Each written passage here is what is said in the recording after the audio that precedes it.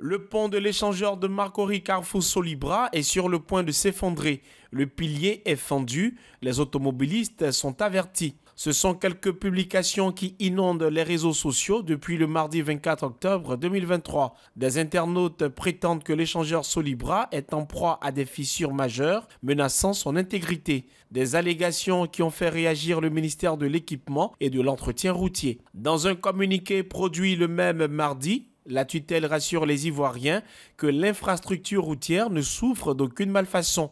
Selon les gestionnaires des travaux, la fameuse fissure présentée sur les réseaux sociaux n'est en aucun cas un signe d'effondrement du tablier de l'échangeur. Pour rappel, la construction de cet échangeur est financée à hauteur de plus de 25 milliards de francs CFA par le gouvernement japonais en coopération avec l'Agence japonaise de coopération internationale. Les travaux sont à leur deuxième phase.